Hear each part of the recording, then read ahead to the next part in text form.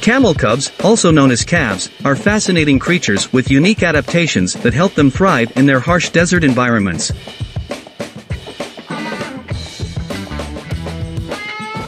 One interesting thing about camel cubs is that they are born with a thick coat of hair that protects them from the sun and sandstorms. They also have a unique ability to close their nostrils to keep out sand and can go for long periods without water.